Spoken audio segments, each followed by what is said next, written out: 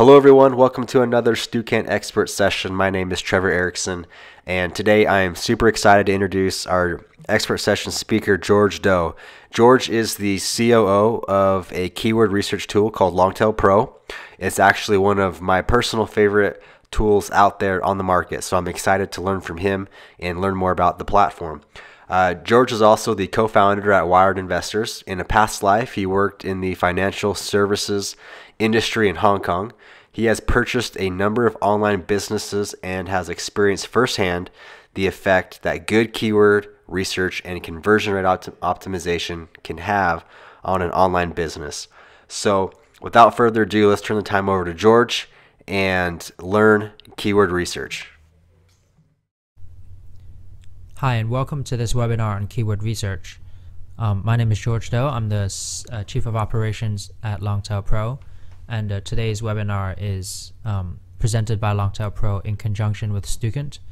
And you know, today we're just going to be going over some keyword research basics, um, so you can kind of get started on keyword research yourself uh, for whatever project you're working on. So we're just going to jump right in here and get started. Um, before you kind of start going nuts uh, doing keyword research, uh, before you do anything really, you you really have to think about what you're trying to achieve.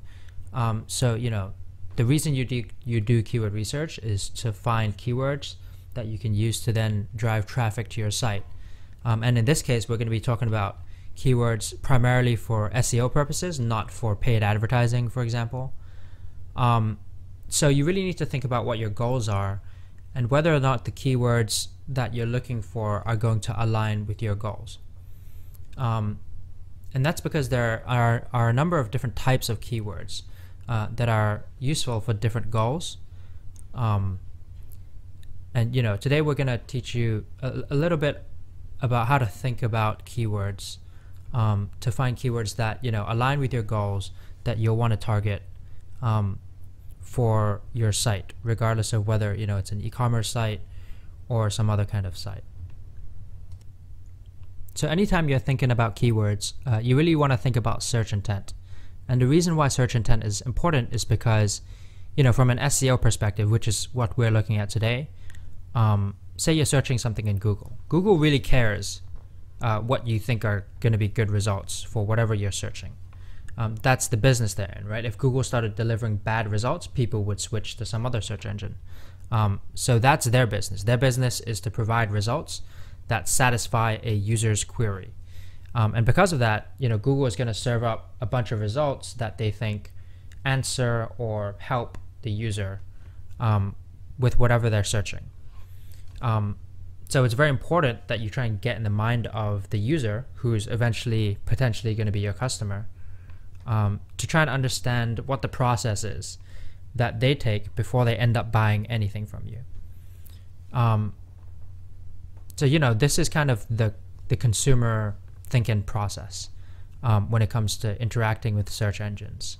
Um, you know the first thing that they will search that they'll search um, about any product is you know if they don't know what it is they might search what is this product. So you know we're using coffee as an example here a, you know, a user who, who doesn't drink a lot of coffee, who, who wants to know more about it, might search um, some of the following things on the left hand side of this uh, chart. You know, what is coffee, coffee facts, etc. The second stage is consideration, um, where the user knows a little bit about the product and you know they're starting to think about buying, um, but they're not quite ready to buy it. They want to do some research around that product, um, but the kind of the research that, that they're doing is a little bit more specific. So it might be things like you know coffee ground or beans, meaning do, should should I buy a, like ground coffee beans or whole coffee beans? Um, they might search best coffee brand to try and find um, you know what the best value for money coffee brand is, or what the best tasting coffee brand is, and so on. Um, and then you reach the purchase stage. And you know, this is the stage where the consumer is ready to buy something and they're actively looking to buy something. And that's where you get keywords like buy coffee beans, buy fair trade coffee beans, best place to buy coffee. Um, you know, that's that's a user with real purchase intent. And then the final stage is the loyalty stage where basically the consumer knows where they want to buy something and they're basically typing in your brand name or your product name to get back to your store to purchase that thing. And for the purposes of this lesson, um, because we're going to be focusing a little bit more on e-commerce, um, you know, but setting up a shop um, to sell things online. Uh, in this case, um, you should be looking for keywords uh, in the third stage, the purchase stage, where consumers are, you know, searching something with the intention of buying something. Um, and we can go back to the example keywords there, like buy coffee beans. Um, basically, you know, the customer or consumer is is putting in a query to Google where they have the word buy in it, or it's clear that they're looking for a way to purchase the thing that they're searching for. So now that you understand what we're talking about when we say search intent, um, how do you actually begin doing your keyword research? So the first thing you're going to need to come up with is a seed keyword or a set of seed keywords. Um, and what a seed keyword is, is basically a starting idea. Um, it's something broad and relatively simple. Um, and it's something that you can use to find competitors and influencers in your niche. Um, so, you know, we're not going to spend too much time on this because, you know, if we're coming at it at, at keyword research from a, an e-commerce perspective, um, I'm going to assume that you already have a product in mind. Um, so that would be your seed keyword. Um, but an example here would be trekking pole. Um, you know, if you have an outdoor shop and you sell trekking poles, that could be your seed keyword. So once you have your seed keyword, you then move on to expanding your seed keywords into a list of longer tail, more targeted keywords that you can actually focus on for your e-commerce store or your website. Uh, so there's a couple of methods that we use here. Um, firstly, you could try to find authorities in your niche, and that basically means you know finding blogs or websites that uh, are well known in the niche. For example, if you were in the technology niche, you might use Engadget for that, um, or TechCrunch. Uh, our advice is that you should find authority sites that are more targeted. Um, so if you're selling trekking poles, try to find a site that specifically focuses on hiking or even more niche down, specifically focuses on trekking poles. Um, and that way you'll get more relevant information and more relevant keyword ideas. Um, so, you know, if you're in, in the tech niche, but you're selling USB microphones, you might want to specifically target sites about recording uh, audio at home versus something larger like Engadget. So just a quick example here, I'm going to jump into Google and search trekking pole guides and just see what comes up and kind of click through to a number of guides uh, to see what they have to say about the product. And this is particularly useful, especially if you don't know a lot about the product. So it could be that you're stocking a new product or you're putting together an e-commerce store about a product that you don't know that well. Um, th- this can work twofold. So, you know, you're, you're looking at keywords, but you're also kind of doing general research into the niche. Um, so I've just gotten a spreadsheet open here and you can use Google Sheets or Excel. Um, and I'm just going to put in hiking staffs because immediately that has come up. Um, and that's potentially uh, something similar or, you know, it might be a synonym of trekking poles. Um, so I'm just going to go through this article and see specifically what things that they talk about that could be used um, for us to, you know, find more targeted keywords here. So, you know, walking staff or travel staff are two examples that I found immediately. Um, shock absorbing. So, you know, obviously some of these trekking poles or hiking staffs are shock absorbing. So that's potentially um, a variable that we could add to a keyword to make it more long tail. Um, adjustable there and, and camera mount are both examples of things that you know you could somebody might search trekking pole with camera mount and you know suddenly that's a five word long tail keyword instead of a two word short tail keyword. Just gonna scroll through this site here. Um, and REI is actually not kind of just a website. They also sell uh, outdoor gear but this guide will serve the same purpose. Um, so we're just gonna go through it here so, you know, down here we see adjustable, shock absorbing, um, ultra light, and camera mount, which we mentioned already. And it seems like trekking poles have a very uh, um, a varying number of locks available. Uh, materials wise, you can go aluminum or carbon fiber.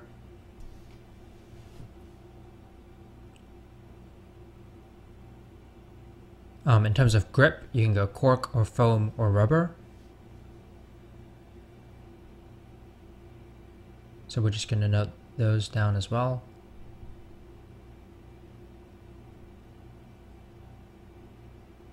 Um, and then, you know, women's trekking poles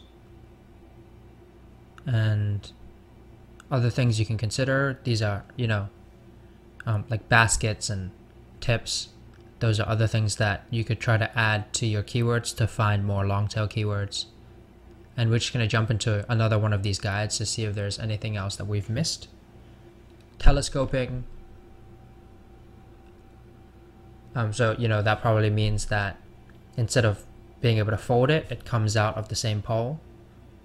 Um, you know, so we're going to put down folding trekking pole as well, right there material we've gone over already, basket size. And you know, obviously we're, we're running through this pretty quickly um, in the interest of time. If you were actually building a e-commerce store around this kind of product, um, you would want to know all this inside and out. So you'd probably want to read through the guide um, properly as opposed to just scanning it. Um, but for the for the time being, we're just kind of looking through um, potential keywords and not so much reading the guides themselves. Another way you can expand on your seed keyword list is to use Google or Amazon Autosuggest. Um, and these will tend to bring out pretty uh, good keywords, um, particularly Google, if you're targeting if you're targeting SEO traffic, because you know if if Google pops up with a an auto suggest suggestion, um, chances are that somebody out there is searching it. Um, so we're just gonna do another example here. So I'm just in Google now. I'm just gonna put in trekking pole A and see what comes up and then go through B and C and so on. And basically, you know, normally I would note down all of the keywords that we don't have already. Um, but in the interest of time, I'm not going to do that. Uh, hopefully you get the idea that you should be noting everything down. Um, and you know, some of these aren't going to be relevant, like trekking pole reviews, if you're running an e-commerce site isn't going to be relevant. But, you know, some of them are, like trekking pole fishing rod um, is a long tail keyword for a niche item that potentially you could uh, target. So things like trekking pole length chart, locking mechanisms, trekking pole monopod, um, and so on. And you know, I'm not going to go through all the way to Z here, but hopefully you get the idea. And uh, we can basically do the same thing in Amazon. And the process here is exactly the same. I'm just going to type in trekking pole A and see what comes up um, anti-shock. So you know that's one we don't have. We would add that to our list. Uh, trekking pole bag. If you sell those, um, trekking pole collapsible, camera monopod, camera mount, carbon fiber we have already. Uh, cork we have already.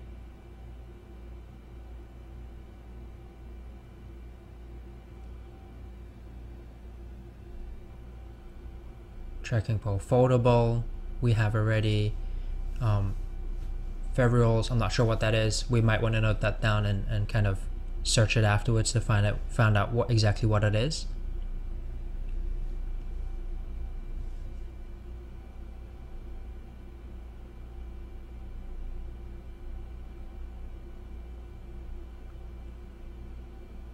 Uh, trekking pole grip GoPro mount trekking pole handles. So another thing to keep in mind is some of these may be alternative products that maybe you don't already sell on your e-commerce on your store, um, but you may want to in the future.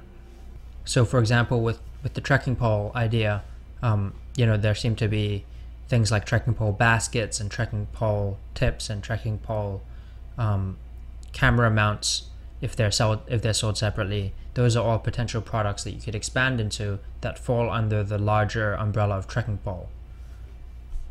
Um, so the next thing uh, you can do is to look at you know niche forums or reddit or quora basically question and answer sites or forums um, you know to look for again any specific variations or details about a product that you could use to produce longer tail keywords so you're not targeting the short tail keyword trekking pole. So, you know, we're just going to go into a browser here and search trekking poles Reddit and see what comes up.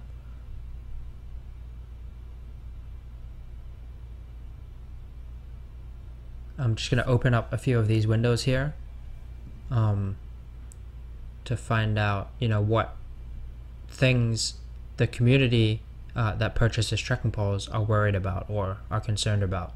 Um, and, you know, obviously, this is not just for keyword research. It's good to know this stuff because if you can make a change to your product that will help solve these people's problems, then you'll have a better product as well. Um, so there's not much on, on here. Um, people do seem to be concerned about the difference between carbon and aluminum. Um, and then also uh, different types of extensions and uh, locks, it seems.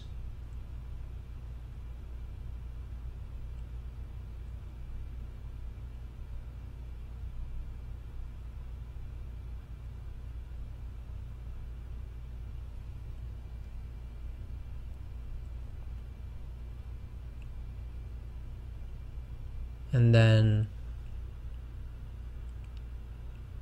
again, carbon fiber versus aluminum seems to come up quite a lot. Um, so that's something you should pay particular attention to if you're selling um, trekking poles on your site, like which one is better, uh, which one is more popular. The types of locks again seems to come up here.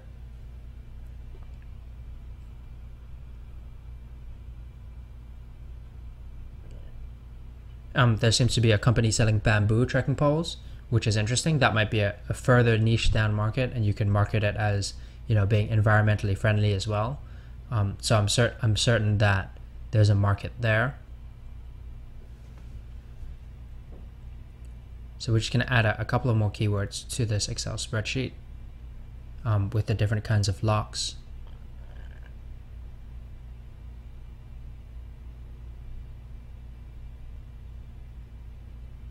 And you know, another good thing about going through this process is, especially on Reddit and uh, and forums, you're gonna find out which of your competitors people like the most in terms of their products, um, and you can kind of, you know, if you're building a product from scratch or you're looking to source something, um, you can focus more on, you know, the aspects of the product that people like. Essentially, you can take what your competitors are doing well and copy it. Um, you know, as long as there there are no patents or anything attached to the product, um, you should have there should be no problem. So we're just going to search um, for, for forums now. You can see my search query: outdoor hiking forums, trekking poles. So there seems to be a debate about you know whether you want anti-shock trekking poles or not. Just going to close that there.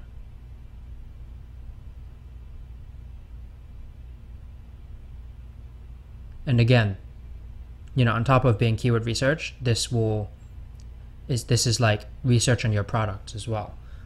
Um, you can see what the market likes. Uh, so you know, some of these people are saying that they don't like the feeling of anti-shock trekking poles. Um, so you can you know think about that and see whether you'd rather offer a trekking pole with anti-shock or without, or whether you want to offer both.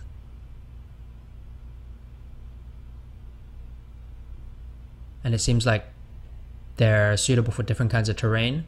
Um, so that's useful information to have because you know in your product description you might want to put that in like this trekking pole is suitable for hard terrain versus soft terrain. Um, the anti-shock trekking poles might be more suitable for wet, uh, sorry, hard or um, more sturdy terrain. And then we're just going to search for Quora as well. Quora can be a great resource. Um, probably in this niche, less so. But you know, if, you, if you're selling something in the tech space, for example, um, Quora can be very useful. Uh, just seeing what questions have been asked about trekking poles um, to try and get a feel for what people are wondering, what people are confused about. So retractable is potentially another keyword that we could use. And then just going to jump into the forum here.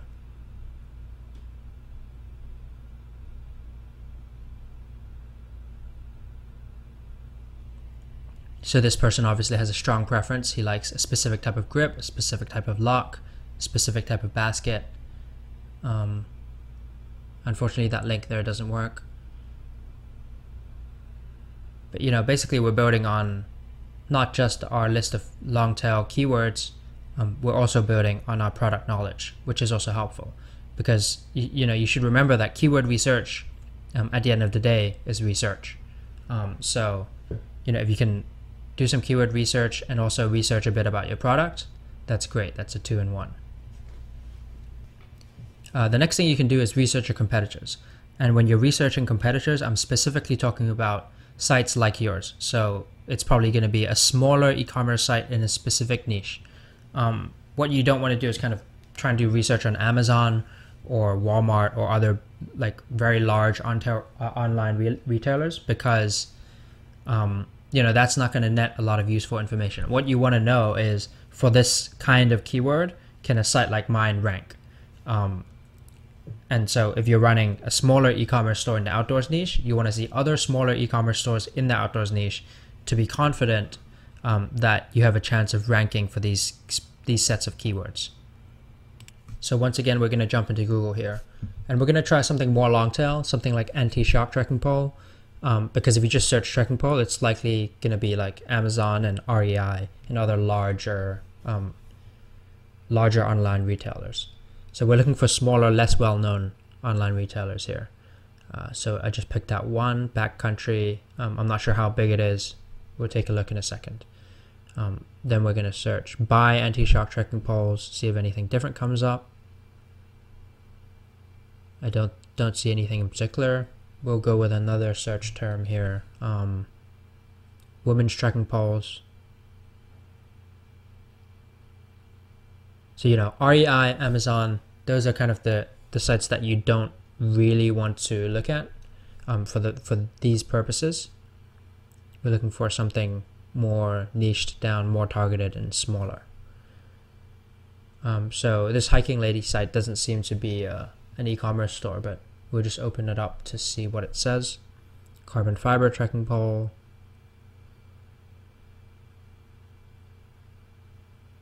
So again, Amazon and REI.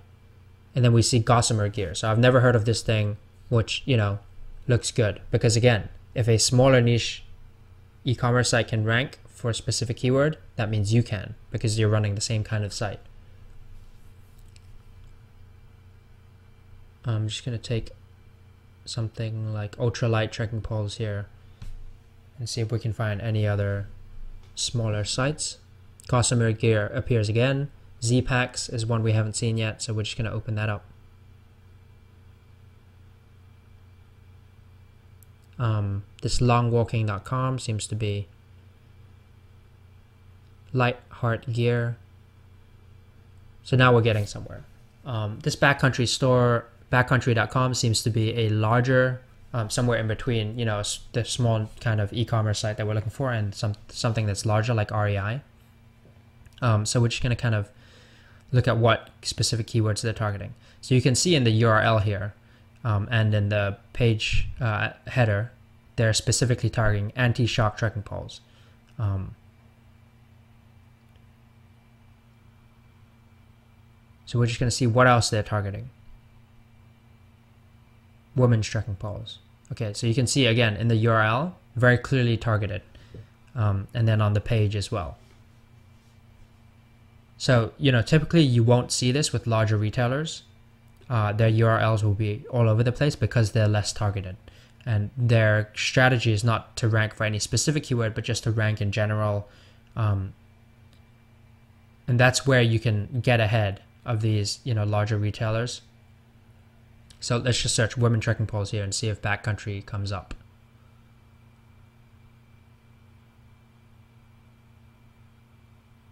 And you know, they do, uh, they're at the bottom, but they do show up. And that's probably because they're specifically targeting this keyword. Whereas, you know, an, an Amazon URL is going to be all over the place. Um, the same thing with kids trekking poles. So, you know, we saw that they were targeting that. Um, and it, they're ranking number one for this probably longer tail keyword than, than women's. And again, that's because they're specifically targeting this keyword. And you saw that, that they were ranking above Amazon for that keyword. So, you know, we're to jump into one of these e-commerce sites here now. Carbon trekking poles, that's clearly what they're targeting on this page. And that's probably why they're ranking for carbon fiber. Um, they're not targeting it in the URL, so that's a mistake on their on their end. Um, but you know they do have carbon fiber hiking poles there as well.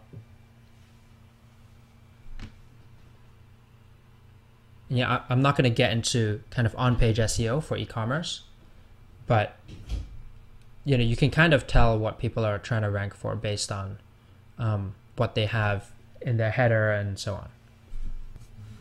And right now, you know, I'm basically trying to show you that Zpacks is a much smaller site. Um, you can see on Facebook they have like 11,000 likes. Let's see how many likes REI has. Uh, 1.6 million. So Zpacks is, you know, it's not a very large operation here, but you can see that they're ranking for ultra light trekking pole. Um, let's see, the fourth result there is Zpacks. And why is it that they're ranking for this? Um, it's because they've done better targeting. It's it's not perfect. They're not targeting it in the URL. Um, it seems to be, you know, it's in the heading. It's not in the URL. So that's something they should fix. Um, and then they're targeting it through the page. You know, ultralight carbon fiber poles I see down there. And you know, you can also tell that it's kind of a smaller shop because they're using PayPal, it seems, exclusively. Um, so this is an example to follow, right? Because they're a smaller site, they only use PayPal, so they're not using any um, sophisticated payment processors, but they're ranking for a long tail keyword and they're competing with the big boys. They're competing with REI and they're competing with Amazon. Um, and this is another one of these smaller sites that I saw, Lightheart gear.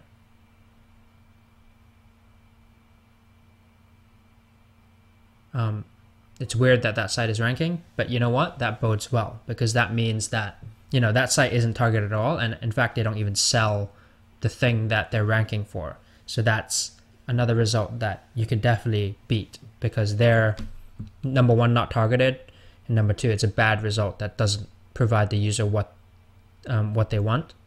And so, you know, if you targeted that same keyword, chances are that you could rank above that particular site.